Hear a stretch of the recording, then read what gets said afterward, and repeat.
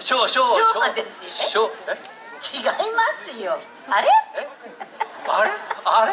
平成ですか？平成ですよ。平成でしたっけ、いや最近物忘れが激しくなっいちゃって。やあ本当に。物まあ忘れが激しいから自分の歌なのにもちろん歌詞も覚えてないという歌う機会となかったいやですからねそうそうですね、えーやっはいぱ東北海道ですからね。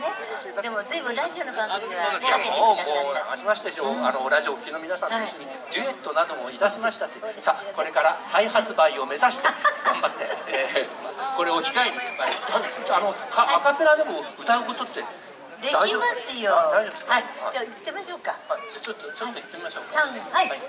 最初最初川中さんですって。大丈夫ですか？何。を笑っているの？ちょっと思い出してね。急にニヤニヤ変な人確かこんな日だったね。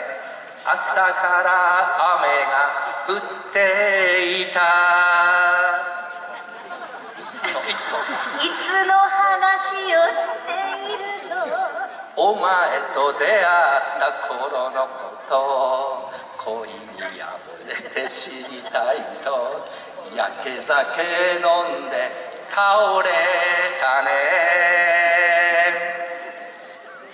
あの時あの店あのお酒たまには行こうか。二人北国恋の国。なんかお経のような感じになりました。こういう歌だったんです。そうなんですよ。コーラス聞きたいですか？いや拍手して。あどうも。何トイレトイレはねトイレはねすいません。トイレ行きたいの。あのね僕ね僕ねそそっちあそっちでもこっちでもいいよ。あのねこっちね矢印書いて向こうにトイレって矢印この森ま森町のすごいところはねこのね向こう側にあるトイレは大丈夫。あ漏れ漏れちゃうんで大丈夫？ここここは漏れ町。あうまいうまいな。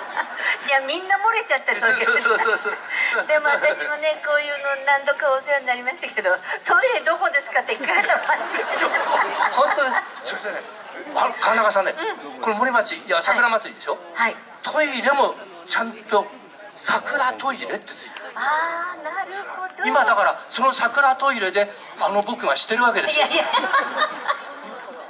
でも本当に無邪気でいいですよね。いやあの川中さんすいません、はい。えー歌っていただいて、はい。でこの後、はい。名曲を紹介しなくちゃいけないんですけれども、はい。こんな話の後で、はい僕がトイレだとか なんだかんだ言った後によいやいやもろしいですか？うもう人間ですからいろんなことがありますよ。そうですか。はい。